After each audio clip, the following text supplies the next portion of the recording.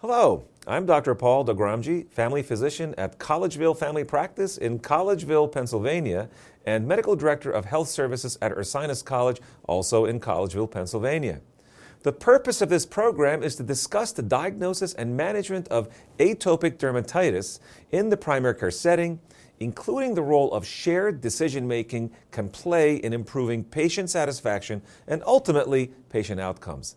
This activity has been developed in association with the National Eczema Association and their Coalition United for Better Eczema Care Initiative, or CUBE-C. Joining me in the discussion today are Dr. Robert Sidbury, Megan Lewis, a nurse practitioner, and Rayel, a patient with atopic dermatitis. Dr. Sidbury, would you please introduce yourself? Hi, I'm Robert Sidbury. I'm a pediatric dermatologist at Seattle Children's Hospital and the University of Washington School of Medicine. Welcome, Robert. Megan? Hi, I'm Megan Lewis. I'm a nurse practitioner at the Children's Hospital of Philadelphia in the Division of Allergy and Immunology. Hello, Megan. And Rayel?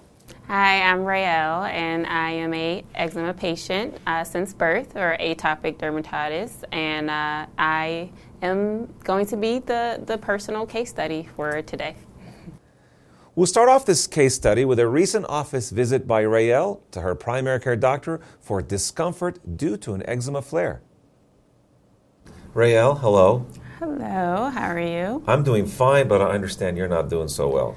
Yeah, no, I'm not. I um, actually my eczema came back, big flare, um, and yeah, I need some some help. I actually, I, I went to even another uh, uh, physician to get a steroid, a higher steroid, just really quick, just something really in and out. But he wouldn't do it for me, um, and I've just been suffering. So I'm so happy to have this appointment, and you can get me something to help out. Well, sure. Let me just make sure I understand. So you said you got an asthma flare. When did it actually begin? Yeah. Um, well, my my eczema flare, it um, it was probably it started ever since really the weather started changing with mm-hmm. the, the winter. Um, and okay. so as we started going more into the winter, I just was waiting it out, mm-hmm. but it just keeps getting worse. Where is it affecting you? Where is it at its worst right now? Um, is it um, everywhere? It's potentially, um, but uh, but it's really bad. Actually, I can show, can you, show you a little. Yeah it went down a little, but my uh, my arms, okay. yeah. So you've been scratching bad. at this a lot, aren't you? Yeah, a little. Yeah, you can see itchy. those marks. Yeah. Okay. So. So you really have a bad flare up. Yes. Okay. Yeah. All right, and what have you done so far? Um, a lot of the the routine, uh, you know, uh, has been been been the same. A lot of baths and moisturizing. You're taking your um, tepid baths, putting a little mm-hmm. bit of. Uh, yeah. of uh, bleach, bleach in there. Yeah. Okay. Moisturizing yeah. right afterwards, yes. all over from head to toe. You've been yes. doing that. Yes. Okay. Yes. And making sure that the clothes you're wearing are like mm-hmm. cottony and soft. Yeah, I try. Yeah, yeah. It doesn't. It doesn't make me um, itch, but it probably. I probably should do better with the clothing. Um, are you putting any medicine at all on your skin right now? No. Okay. So. All right. So in the past, what's helped mm-hmm. you is when I've given you like a medium grade steroid cream. Right. That's yes. what's really. Yeah. I think that's what you so, kind of need, don't you? Yeah, yeah. Because the one that I was using, it just it doesn't work anymore. So I probably need something a no little problem. stronger. I can give you a prescription for a really large tube, so you can use it mm-hmm. on on all the different parts affecting you. Yeah. Twice a day should be effective. And for most people, like within a couple of days, it's a little bit better. In a week, a lot better. That's what our goal. Okay. Okay. And in two weeks or so, maybe you're starting to back off a little bit. But that's probably when I should see you again. Okay. But you know what? There's a couple other things, Rael. Um, first of all, there are other medicines out there other than just steroid creams. Really, for eczema? Ab- absolutely. They're kind of a different class of medicines. They're called TCIs. At some point, we may mm-hmm. address them. Yeah. And guess what else? There's also now um, another cream that's out there that's not even any of those two categories. Mm-hmm. So there's a lot I can do for you. Mm-hmm. Plus, also there's injectable medicines. Okay, mm-hmm. injection meaning like it's a um, it's a it's a medication that, that we inject underneath your skin, and I can actually even mm. train you to do it. It's really cool, wow. and you do that every couple of weeks or so. These are medicines that we use for kind of advanced and severe cases. So if right. things don't get better, mm-hmm. and you've been suffering for many many years, mm-hmm. if things don't get better, we can consider some of the other sources as well. All right, oh, I think it's important yeah. for you to know. Oh no, that's wonderful. Okay, Thank so you. when you come back in two weeks, we'll go over them. I'll give you some information about mm-hmm. about them. In fact. National Eczema Association, the, the mm. website. You can just Google it, National Eczema Association. You can put it on your Google and, and go to the website and get a lot of this information there as well. Oh, wow. Have you ever have you ever gone there or done that? Or? No, this is awesome. This is the first time that I'm hearing about this. I, I really I need to learn so much more. Excellent. Well, I'm so glad. I mean, you know, knowledge is power. So for you to know what's out there, what you need to do, you already know about the bathing part. You already know Mm-hmm. about the lotions and moisturizers. You know about the bleach. You know about all these other things that we've talked Mm-hmm. about. We just go uh, go a little bit further and do more for you, depending on what you need. I'll just give you the prescription for the steroid cream you're used to. Have you come back in two weeks? We'll go from there. Sound Mm-hmm. Okay? Thank you. Yes. So nice to see you again. Yes, thanks. All right. awesome.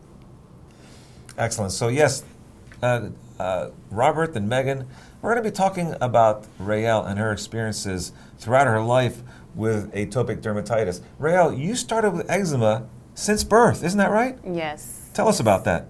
Yes, I was uh, born with eczema. Um, I actually came out feeling like sandpaper, so it wasn't much of a, a, a question as to what was what. Um, I had eczema, it's in my family line, and that was it. So you were born with it. Your your mom obviously told you about this as you were growing older, and uh, and you had sandpaper skin. Yes. Is that, was it? Is that common to see atopic dermatitis at that age, uh, upon birth? It doesn't always present right at birth, but it's a pediatric disease, no doubt about it. Upwards of 50, 60% of patients are diagnosed by one year of age, close to 90 by kindergarten, so it's a pediatric condition. And how is it diagnosed in infancy, uh, Megan? So it's, it's typically a clinical diagnosis. It will involve, in infants, it can involve the entire body. Um, typically, they're very itchy, their skin is dry, um, they probably have some excoriations from where they've scratched themselves. Um, but dry, red, scaly plaques are kind of the hallmark of the disease. It typically spares the diaper area in infants, though, so that's a good trick if it's not in the diaper that it might be atopic dermatitis. So probably Rael's mom, when she took her to her well baby visit, the two month visit, mentioned to her doctor, "What's going on with, with, with my daughter's skin?" Right. So what would her doctor have recommended? What would be the treatment for atopic dermatitis in, in a, in a baby, in an infant like that?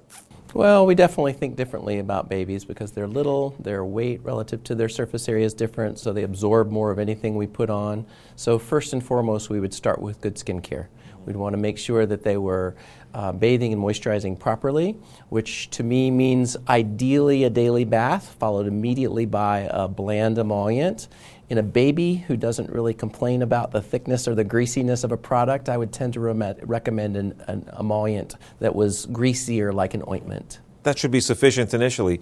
Um, Rael, did you have a family history of it? Does it run in your family? Did your mother say anything about that to you? Yes, so uh, my grandmother on my mother's side uh, actually has it, um, and then my mother had it throughout childhood. Some, but but I, neither ha- have been as severe as me. Um, so gradually, and she, even my mom, she uh, suffers with it gradually on her hands now. But um, but I, it's just been literally everywhere on my body at some point. So, all right, so uh, your mom probably started with the usual treatment with moisturizer, like we said. Do you remember her telling you what else she did for you after, after a certain amount of time? Yes, so uh, yeah, definitely the, the moisturizing um, definitely helped, but your skin gets used to it. Um, a lot of us, I'm sure, are used to, we, we can't use the same thing forever, um, and so we just have to switch up. Um, and then from there, uh, of course, there's definitely medications um, that doctors want to give, and we, we took it. Um, it was back and forth. Uh, sometimes it, it's a balance because you don't always want your child on medication, so but it was definitely a, balancing act. Yeah, and uh, did it also alter how things went in the family? I mean, do you have uh, other brothers and sisters and how it affected their behavior around you? Yes, I have an older brother, um, and yeah, I mean, I guess I had to get a lot of the attention. Um, and I mean, in, in other circumstances, that's amazing, but but but no, not in this. Um, there, I mean, I had no other choice but for everyone to, to be at my my needs. Um, so So, as Rael's growing up, she has different needs, as she said. How does it differ in childhood versus uh, later childhood? You know, I think eczema can be a full time job sometimes. Um, I recommend when families have young children, every diaper change to, to moisturize them with something, and that can sometimes help kind of keep the skin hydrated.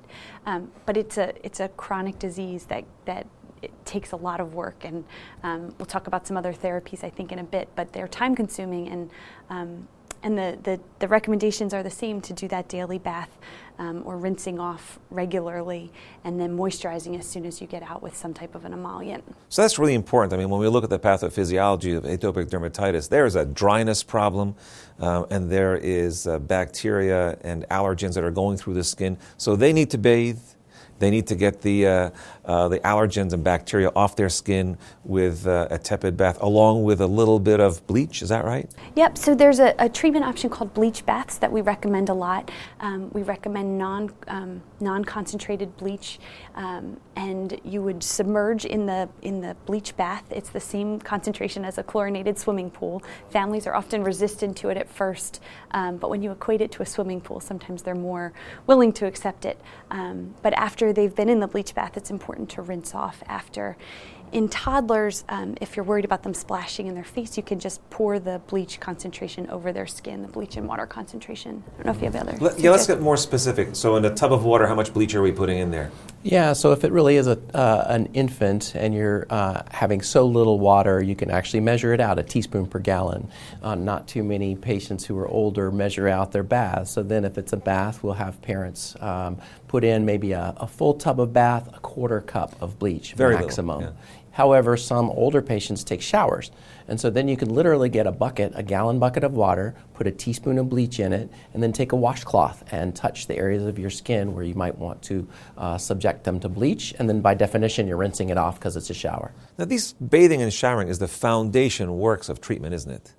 But then you also said moisturizer. Is that something that you have been doing pretty regularly then with the bath and then Oh yes, um, every single every night, um, especially when when things are rough. Um, every night a bath um, is definitely necessary if I want to wake up with my face a lot of times, um, and so and to have a, a more calm uh, time of sleep. I actually mix my baths um, with different things. So the the bleach, and then also I'll put in maybe some dead sea salt or or something like that. I'll mix it in order to still get moisture when it's done. Like that's just something that I came up with. But um, but also even essential oils to, to just anything that can calm you at nighttime. I sleep with a um, dehumidifier. All of that actually okay. helps. Excellent. Now, all right, so she has a nice way of doing things, but what questions do parents have? You know, so, all right, you've taught them about the bathing, about moisturizing. What other questions do parents have about their eczema? They must be really concerned about it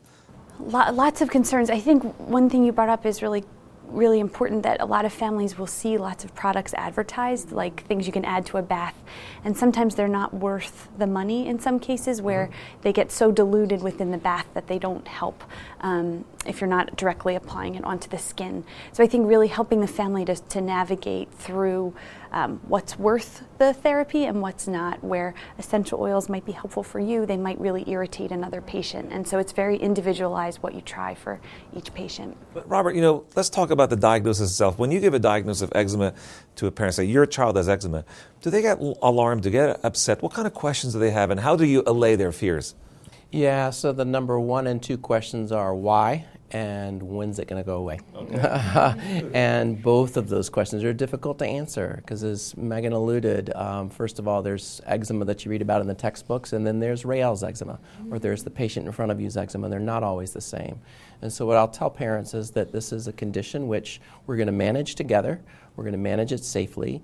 We're going to try and identify triggers uh, that you identify and tell me about, and I may or may not help you with testing if it's appropriate and we'll eliminate those things. We'll sustain with good skin care, bathing, moisturizing, all we've talked about. And when prescription medications are necessary to take that next step, we'll take that next step. Excellent. But atopic dermatitis, atopy, asthma comes to mind, allergies come to mind, allergic rhinitis comes to mind. Um, Rael, you actually developed asthma, didn't you? Yes. Um, I was officially diagnosed at seven years old. So, um, yes, through time. And then, even before that, my uh, mother tells me that I was given asthma treatments um, at a, a doctor um, prior. And but I wasn't diagnosed with it. So uh, that was like concerning for her. So she moved on um, into a children's hospital um, and they diagnosed me. Okay. And it was, uh, so from there, and I knew what was happening, but that was the process. I mean, I had eczema, nails, eczema, nails, asthma, and then allergies were always there. So, how common are comorbidities with atopic dermatitis, Megan? So extremely common. So a, a, lot of patients who have atopic dermatitis have co-occurring asthma, as Rael described, environmental allergies and food allergies as well. So often we see a family history of those allergic diagnoses, um, and the patient can often have multiple diagnoses, but they can have just atopic dermatitis too. But is there a family history of this uh, with you? Uh, I do have allergies. Um, no with family history though, like with your mm-hmm. mom or brother or other people have anything like this? Yes, yes. So um, yeah, my mom definitely has the eczema, but my brother has like um, hay fever. Okay. So like that's like that's his his worst thing. He might have some eczema, uh, but but not really. Um, but yes, so my brother has that, and then he's also allergic to peanuts. It's just not as severe as me. Mm-hmm. So that's there. But besides us, nobody else in our we've my parents have asked so many people. No one is allergic to peanuts. So, Robert, so we have eczema, we have food allergy, like she said, um, we have asthma. Um, any other comorbidities other than that that go along with uh, atopic dermatitis? Well, there's some that we've always known about but haven't called out as such, like skin infections. Patients with atopic dermatitis are more susceptible to staph infections, for instance, and that's a critical thing that can not only be an independent problem, but one that can drive the eczema.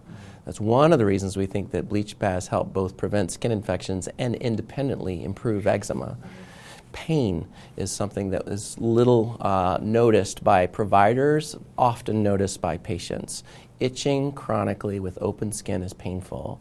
There are newer comorbidities that we're just learning about, like attention deficit hyperactivity disorder, ADHD possibly others like anemia, um, things that we need to have on our radar screen but aren't as well described as those first ones we mentioned. So, do we then actively seek out and ask for these comorbidities, Megan? So I think it's really important to, to take a, a lengthy history. Um, one other piece that I would add is that disrupted sleep, and so um, families are not sleeping well. Not just the patient, but the entire family's sleep cycle is disrupted. There's been some good research that came out to show that even when you control for other comorbidities, um, obstructive sleep apnea is higher in patients who have atopic dermatitis. So really thinking about all the things. Don't let the eczema mask other diagnoses that might be there. Um, that maybe you could address that would help the sleep cycle and help the family. So it's a really a systemic problem, or rather, a uh, affecting the entire life of, of the person, and in, in, fact, even the family. So in that Rael, you know, when you were growing up, uh, how did your doctors uh, try to address these issues? Did they talk to you as well as your mom, as well as other family members? What kind of education was there, and what kind of things occurred at that age group?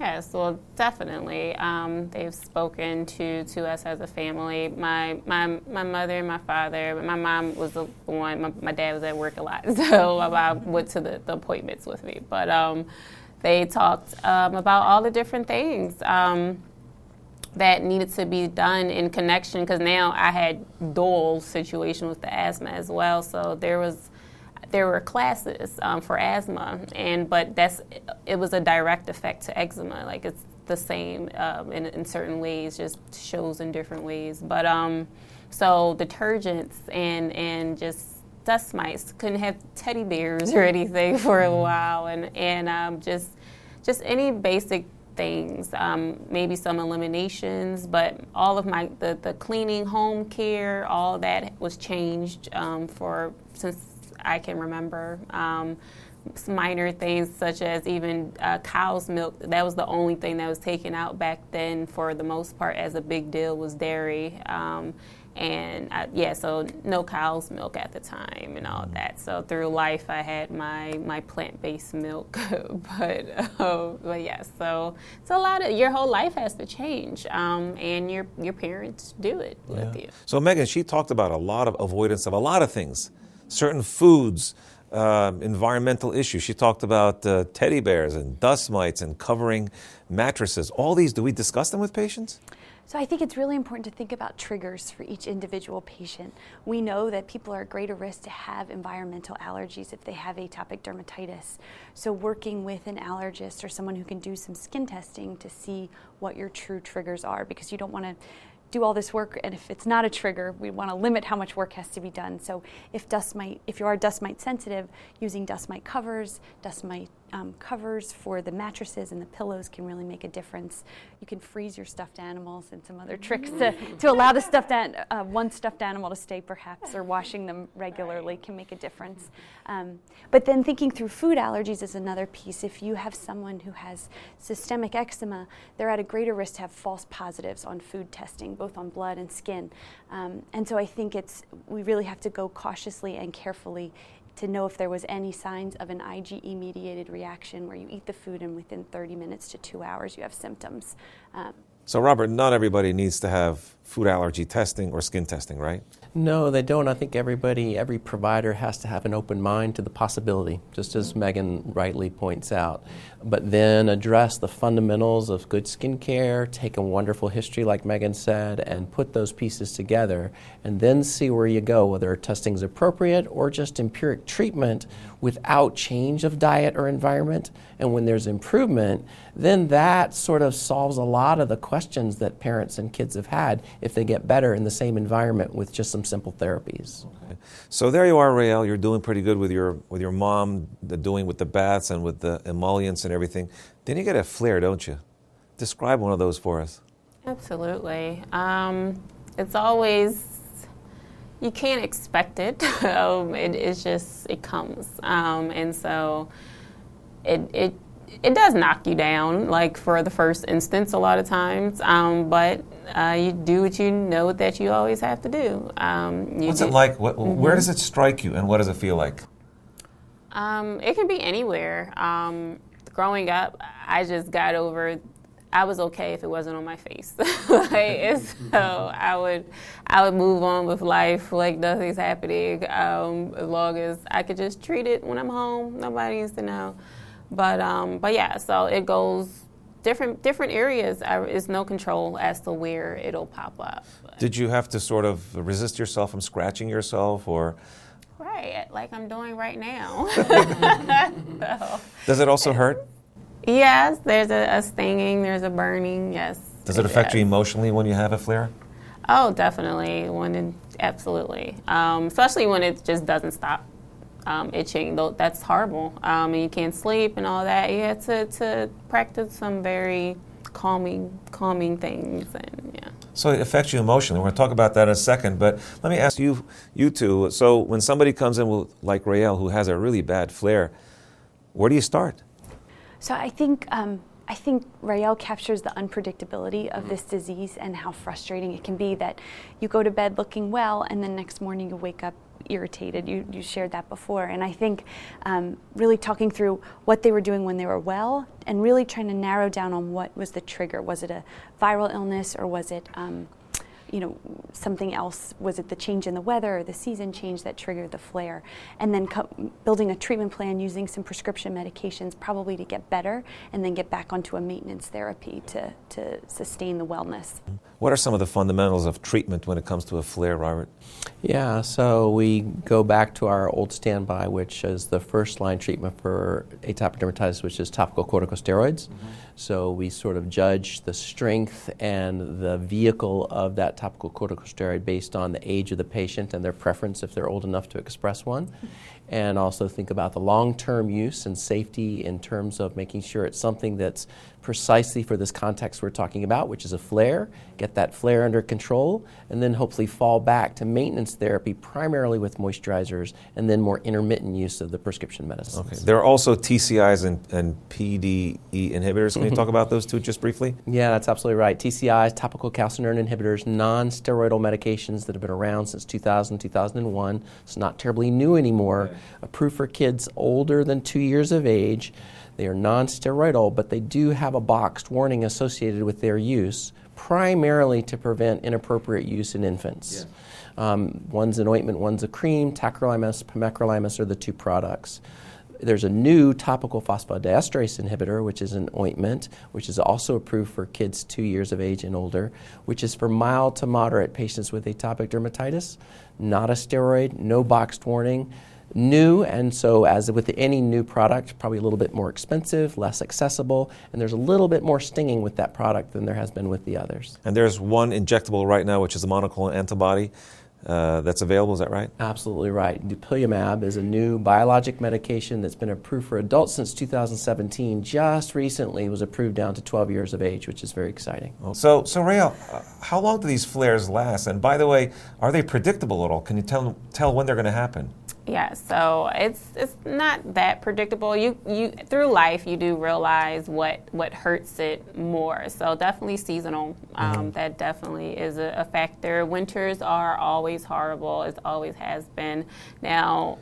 It's interesting though because summertime as a child I can remember that being worse um, in a lot of times. So it's just extreme weather I feel like so harsh cold, harsh heat. Um, body does not like it. Mm-hmm. Um, so that's something you, you have to just be extra precautious. Around those times is usually when I would change my diet. I would just be very more precautious to kind of when the flare ups do come, it just won't completely disfigure my mm-hmm. uh, how I look. Mm-hmm. So if you get a flare, you go to a doctor's office. What is a good, successful doctor's office for you? Mm, it, it's different now than uh, growing up. Um, and because growing up, then yes, these steroids they work for me. Um, as a teenager, uh, topical steroids they work for me, and then also because I would have the allergies, big allergies as well. So my eyes would be huge, everything. They I would get the topical steroids, um, but during the daytime, um, also some some oral steroids as well. Um, but it would be in order for for daytime, and then also nighttime to help me go to sleep, um, and then to calm inflammation. That's just always been been the thing to calm inflammation, get medication for that, um, higher medication when necessary, because I already would be using the steroids uh, every day, actually, which was not what I'm supposed to do. Um, that definitely was a misuse, but it, it it kept things level, and I didn't I, I, never looked at side effects or anything. This is just my life. Um, when things get worse, you go to the doctor and you get a, a higher steroid. Um, and yeah, but through life, that you it it catches up with you um, at a time when there's other factors as to, to why things may be at its worst. And if a steroid doesn't work, mm-hmm. then um, it kind of went haywire. Okay. so she mentioned oral antihistamines. Uh, how how helpful are they? And one other thing I want to ask you guys: What about oral or systemic steroids? How about those two issues? Right, so I'll take antihistamines. You can do steroids. so um, I think reflexively, when when someone is itching, we want to get them better, and the families always ask for what can I do for the itch, even after you've gone through all these therapies for the skin. Um, so often people prescribe antihistamines, and the studies are really not great and it's not indicated as a treatment just for eczema. They might be helpful in someone who has some allergic rhinitis or significant seasonal allergies, they might be helpful. If you have a toddler who's really having difficulty sleeping, something like hydroxyzine might be helpful. There's some good studies on melatonin use to help with sleep and eczema healing, but, but, but we shouldn't just automatically be pres prescribing antihistamines. Yeah, I can sum up my feelings about systemic corticosteroids in three words. Just say no. um, okay. They are seductively effective. Um, they will help the skin get better in a night or two in a child who's otherwise not sleeping. The family's affected, all the things we've talked about. Then all of a sudden you take this medicine and the world's different uh, instantly. The problem is so, so rebound effect is that re- what you, that's the problem. Effect, yeah. The problem is when you come off of the medication, the eczema is back and sometimes with a vengeance, yes. and it's not an appropriate intervention for a chronic disease. Okay, that's a very important point to know. All right, Rael, let's shift our attention to. I mean, we talked about how it has affected you physically. How has eczema affected you in your emotional life, in your mental health, as you've gone through your schooling and later on? Yes. So through a child, definitely was very emotional, very emotional child, and I mean, some people might say I am now, but um, is but um, yeah, so that's a, a, huge thing to connect as to why you might be like, why am I so sensitive? I was very sensitive as a child, even minor rep, rep, being reprimanded by like a teacher on minor things. Um, I would just cry, and I think that was a part of me, just like, man, I'm causing a disruption again, and because there's so many things out of my control that I was cause a disruption because uh, it's just my body is how it was. Um, so that was all that are, is mental and um, definitely um, it carries through with certain things, maybe being a, a people pleaser um, in certain ways. But um, but as you get older, I mean, you just you learn, you master the art of caring for eczema. You really do. Um, and but even but as an adult, it just came a time that it was like I have to stop masking this. like I, mm-hmm. this is me. This is a part of me. This has been my life, and so that's where the real mental change comes in, um, seeing like light in in the the pain and everything like that. So it's so some positives to it. Is that what you mean? Absolutely, absolutely. I mean, I'm forced to have an optimal health, um, optimal health as to taking care of myself. I have. I'm very strict with uh, how I take care of myself healthy wise. I've learned so much about my body, the body in general, things that that you just don't pay attention to because there's no reason you think there's no reason to but you should know the workings of your body and uh, what actually helps. So so it's really important. So again today as far as your daily life how do you think uh, atopic dermatitis has affected your personality? Um, definitely, I would say some moods um, for sure, and and you have to learn to communicate. Um, what you're feeling because even like right now, yeah, I'm having great conversation, but I mean, I could be drained, and this this could be like personality type, but like in in another hour, I'll be drained um, because of all of the energy that I've used in order to kind of cancel out the itching that I feel right now, and talking and being normal. Um, all of that energy has to level out again. So I think that's well Robert Megan, I'm sure you'll agree this has been so informative to, to see how Rael has gone through her life with, with atopic dermatitis. Thank you so very much. So, this concludes our presentation on the management of atopic dermatitis in the primary care office. And we hope you found this activity enjoyable, educational, and that has provided you with a foundation of the overview of the ongoing care of your patients with atopic dermatitis. Now, for additional information on AD, please go to the National Eczema Association's website nationaleczema.org, and encourage your patients to check out eczemawise.org, an exciting new resource developed by the National Eczema Association. So, on behalf of the faculty and the patient who have helped produce this activity, we'd like to thank you for your participation. Thank you very much.